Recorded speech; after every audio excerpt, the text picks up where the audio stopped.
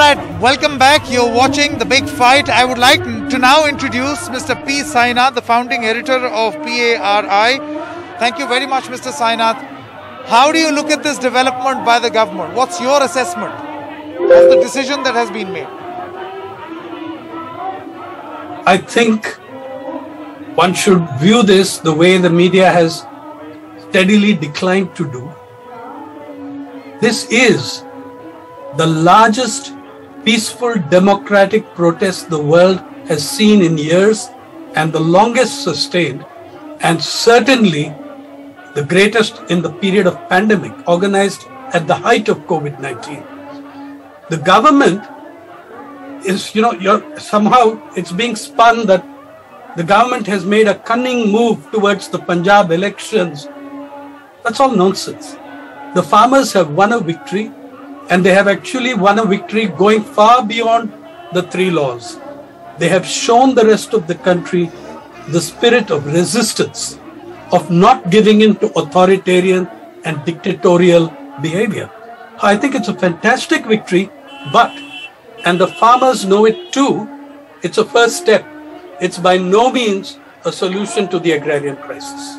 It is, however, a stupendous victory against yeah. all odds. Yes, Mr. Sainath, now let's talk about the point that the farmers are raising.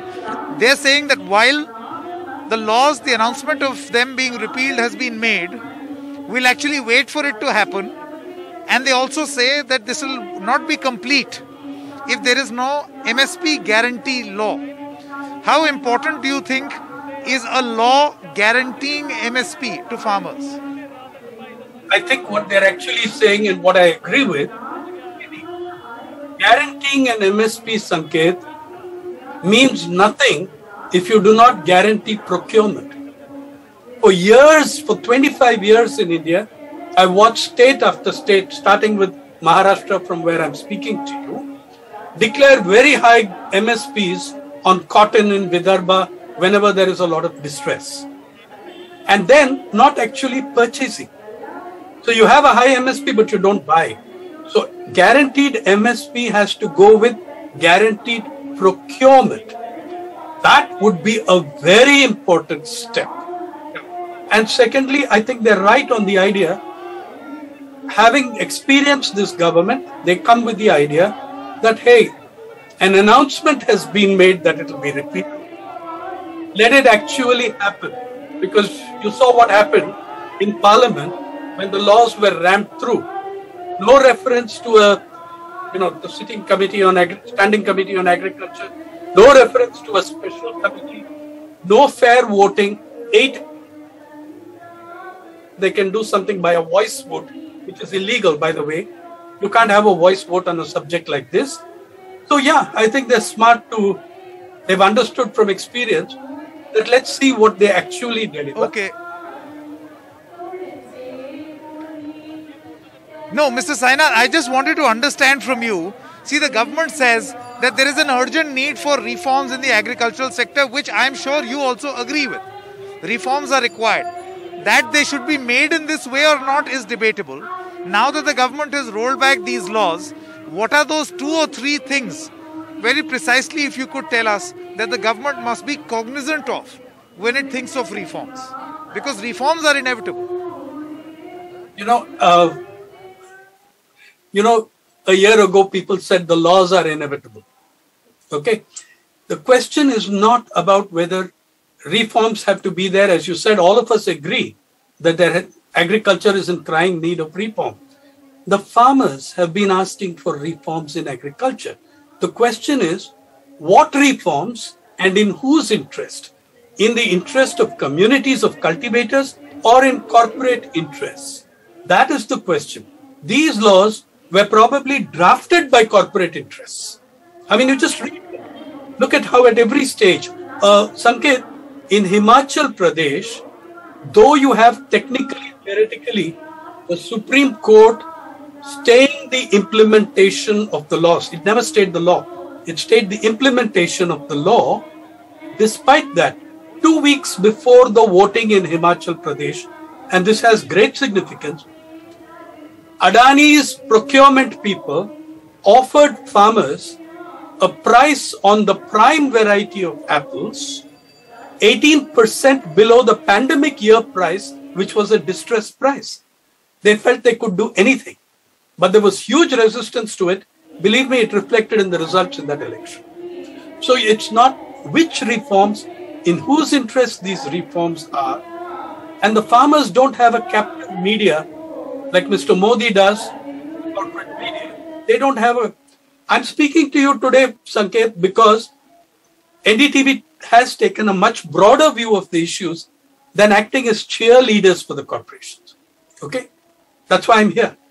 And I'm saying that that is a very, very significant thing that the election, you know, we're all talking about what will be the impact on the assembly elections. Please look at the impact in the by elections. In all the states where the farmers' agitation was very intense, the BJP took a pasting. Whether it now take Haryana, the Congress stupidly put up a candidate, a senior candidate who lost his deposit, which they should never have done against an Abhay Chautala who resigned on the farmers' issues when the Congress claims to be supporting the farmers' issues.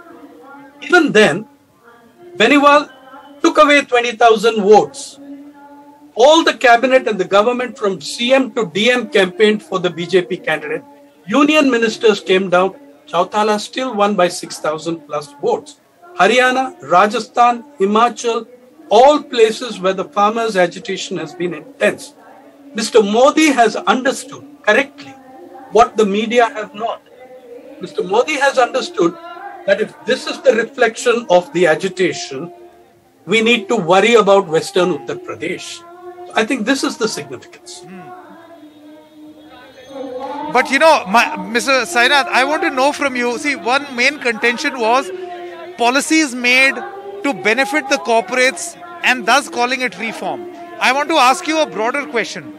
Is corporate involvement in agriculture necessarily a bad thing? I mean, if there were requisite safeguards, should there not be a situation where there should be an open market where more and more people come and procure and thus help in increasing the income of the farmer? Because I think this was the point that the government was making. Of course, yeah. the contention was a lack of safeguards. Okay. This was the claim made when they repealed the APMC Act in Bihar. Yeah, open market. There is no such thing as a free or open market when there is a huge disjunction and disconnection between the power and bargaining power of different parties. There's no such thing as a level playing field. It's just that I'm kicking the guy down there who can't get up. In Bihar, Bihar today, paddy and others, other is getting, farmers are getting prices way below the minimum support price and the lowest below the minimum support price of any state in the country. That has been the experience of Bihar, and the farmers know it. They're not idiots. Why do they want to replicate that experiment? The idea, by the way, the the breaking of monopoly was precisely the idea with which APMCs were introduced. APMCs were introduced because private trade had a chokehold on it and still does. More than 60% of crop in this country is traded outside the APMC. So you brought those in as a state intervention to support the farmer. And because it would imply such a major loss of income, they have resisted it. As I've told you before, the APMC is the government school of the agrarian sector. It's flawed. It's got terrible faults. It needs to be set right, but it's essential for their survival. Mr. Sainath, you know, I want to quickly come back to the point on reforms because do you feel or do you fear that, and this is one, uh, you know, point which is being mentioned a lot by uh, people who are supporting the government on these reforms, that when you roll back a reform, then you create an environment so as to not have reform, you know, in about two months or three months or in the future. So, do you think that by rolling back, unfortunately, there will be a situation where no government politically will even think of going ahead with a reform? I think this is nonsense because it's argued from the point of view that corporate reform is the correct reform. It's the only reform. you could you could make other reforms that would be welcomed with talia by the farmers. Think about those. Think about reforms. Now, in fact, you are scuttling the public distribution system. We are undermining it day by day and parceling it out, and you know to who it's being parceled out. So I don't believe that at all. And please, by the way, the great, wonderful people who support the government on this and have filled the op-ed pages of the newspapers for 15 months. They also formed a committee for the Supreme Co- of the Supreme Court. What happened to this committee? Also, huh, what happened to the? I, you'll, you'll remember that I had declined to be on that committee. You know, when my name was brought up in the open court by uh, Justice Bobde, I had said this is death by committee. I have I will not be party to it. So all these wonderful people, what is their standing with the farmers, with the poor of this country? In a country where 73% of the rural population cannot afford what is a basically nutritious meal, as you know, the Journal of Food Policy brought out that study last October, not very long, I mean, last year, October, shows you that if you even spend 15% of your income on non food essentials, rent, commuting, health, education, it means three fourths of this country's population cannot uh, enjoy a basic, basically nutritious meal. So, that being the situation, please look anywhere in the world where you have handed over agriculture to agribusiness. What has happened? What, what has happened? Classic, in the United in, States. In situation like this, I get the point that you're making. Mr. Sainath, you know, my final question is I'm sure you must have heard the comments of a member of the Supreme Court committee who says that, you know, repealing this law is not the best thing.